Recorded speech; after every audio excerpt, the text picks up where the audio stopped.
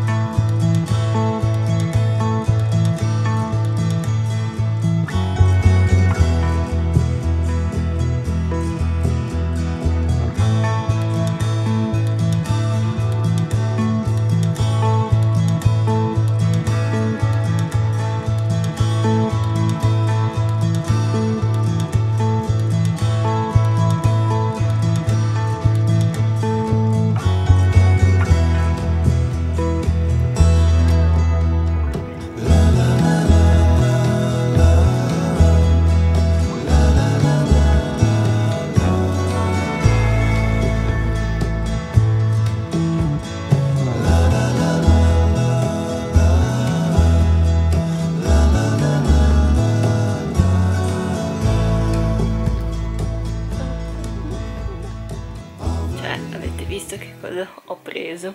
Me lo sareste mai immaginati? Beh, i miei genitori... I miei genitori no. Cioè, ho cercato un po' di farglielo capire. In realtà ho detto lunedì scorso, io prendo un gatto. E loro mi hanno detto no. Mio padre è incazzatissimo. Mia mamma così.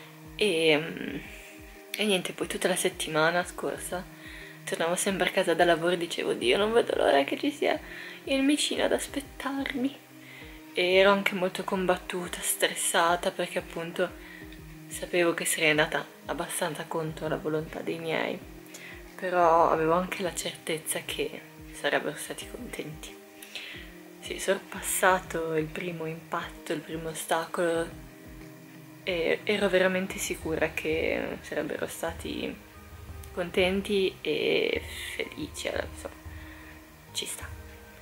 Noi abbiamo avuto un cane per 15 anni, io sin da piccolo ho sempre voluto animali e i miei genitori no, anche se comunque amano anche loro gli animali, però non hanno mai voluto un animale in casa.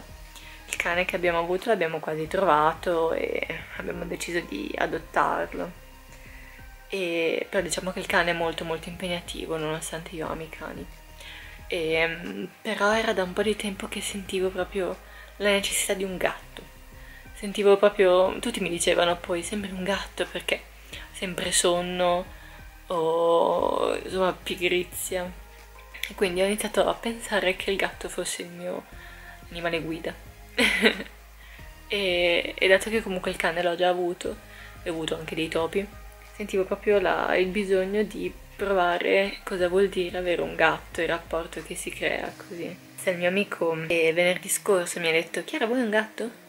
E io ho detto sì, magari, perché ha avuto una cucciolata e è riuscito a dargli via tutti, gli mancava questa. Ho detto magari davvero, perché poi il mio ragazzo Brian è allergico. Però ho letto di tanti articoli e so di persone che comunque col tempo riescono benissimo a conviverci con i gatti. Se avete consigli fatemelo sapere. Alla fine, questa domenica, perché oggi è martedì, e mm, domenica mi sono incontrata con il mio amico e mi ha dato la gatta, solo che io prima la volevo incontrare a casa sua e insomma far- farmi conoscere e invece non c'è stata la possibilità e me l'ha data direttamente nella cesta con lei che mi aggolava mentre eravamo in macchina. Allora sono arrivata a casa, il mio ragazzo mi ha aiutato a portare su tutta la roba perché sabato ho comprato tutto quello che le poteva servire, appunto domenica l'ho portata su in casa, solo che stava miagolando e quando ho aperto il portone di casa i miei hanno sentito questo miagolio e hanno detto no, davvero. L'ho messa dentro, mio papà non mi ha rivolto la parola. Dopo un po' è uscito di casa per 40 minuti tipo. E infatti lì è stato pesante. Mia mamma è stata un po' lontana, poi ha iniziato a fargli il servizio fotografico e a inviarlo a tutte le amiche.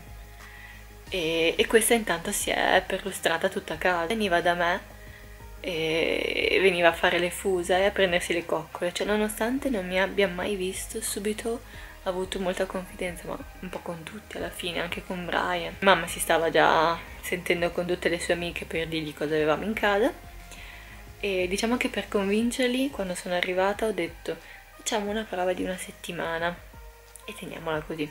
Dicendo così, facendo una prova, mia mamma ha subito detto eh tanto la teniamo solo questa settimana e poi basta, quindi. Dopo tipo verso sera ha iniziato a dire eh ma dobbiamo vaccinarla poi perché quando sarà grande? A che età dobbiamo eh, fare la sterilizzazione poi con le sue amiche sentivo che diceva dai venite a vederla che adesso è ancora cucciola perché poi cresce. Quindi già da lì ho capito che stava piacendo l'idea di tenere il gatto. Mio padre eh, verso sera ha iniziato un pochino a giocare con noi con la pallina. Poi a un certo punto la gatta è andata sul tavolo in sala e, um, e si è accucciata lì. E mio papà, cioè mi sono girata e ho visto mio padre con la faccia tipo così, nel pelo della gatta, le faceva le coccole. Quindi anche lì ho detto, anche papà mi sa che l'abbiamo conquistato. E niente, quindi domenica insomma ero abbastanza stressata perché dicevo, non la vogliono così e invece poi mi sono ricreduta perché il giorno dopo sono andata al lavoro e mi hanno riempito di video i miei genitori di lei che giocava, faceva delle cose e oggi mi hanno mandato un video dove lei stava bevendo dal bidet e, quindi ho detto li, la, li abbiamo conquistati, vero? Ah, si chiama Yuki Yuki vuol dire in giapponese vuol dire felicità, fortuna oppure neve il vero nome completo sarebbe Yukine però la chiamiamo Yu. Ho sentito ieri la veterinaria, che era poi quella del nostro cane, e ha detto di sverminarla, infatti oggi sono andata a ordinare le pastigliette, arrivano domani. E poi iniziamo a fare i vaccini che bisogna fare, dopo la sverminazione però, quindi tra una decina di giorni. Insomma, sono state un po' di settimane agitate perché appunto sentivo sempre più questo forte bisogno di averla con me. Oddio e, ah, per quanto riguarda le abitudini, sono già stata subito chiara che in cucina non può salire sulla tavola né su insomma, tutto il banco cucina, assolutamente. Il banco cucina non ha modo di arrivarci se non fare un salto bello alto, ma so che prima o poi lo vorrà fare.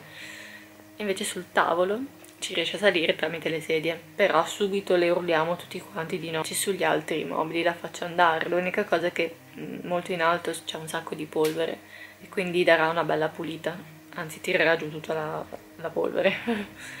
e mm, lei sta qui sul letto con me, non le ho preso proprio una cuccia, perché tanto alla fine i gatti, da quello che vedo, stanno un po' ovunque. È stata bravissima con la lettiera, proprio già il primo giorno, domenica, praticamente le ho preso una lettiera che ha un coperchio sopra e un'entrata. Mm, pensando che non capisse subito, ho lasciato via il coperchio e l'ho messo dall'altra parte, quindi sembrava un'altra vaschetta. Insomma a un certo punto ci entra dentro e ci fa la pipì. E dico no hai sbagliato. Vabbè gliela faccio fare e poi l'ho spostata scrollandola un po' dalla pipì e l'ho messa nella lettiera. E si è messa a fare la cacca. Quindi mentre che faceva le, la cacca le ho versato la pipì di fianco nella sabbia per farle capire qual era il punto. Poi da lì ho provato a chiudere la lettiera e adesso è bravissima va sempre lì dentro ha capito proprio al volo. Appena ha fatto tutti i suoi bisogni nella lettiera sono corsa dai miei, soprattutto da mio padre, ho detto, ah, è stata bravissima, ha fatto tutto nella lettiera, visto che non dà problemi. Vabbè, mi sveglia verso le 7 e va bene, va bene in settimana, vado al lavoro. Che la mattina ha un'energia pazzesca e corre da tutte le parti, io però cerco, non voglio svegliare i miei genitori, quindi insomma cerco di farle fare, solo che lei proprio inizia a correre come una dannata, poi va dentro la vasca. È davvero dolcissima, vuole tante tante coccole e, e di notte se mi sveglio un attimo allora anche lei si sveglia e inizia a fare le fusa e ad avvicinarsi sempre un po'. Mm. Che succede? E adesso che dici di svegliarci? Che se no stasera hai gli occhi apertissimi.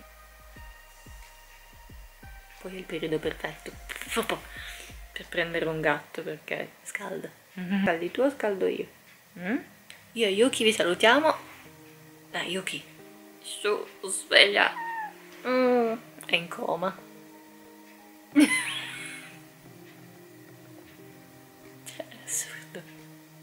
Hai dormito già da più di un'ora e mezza?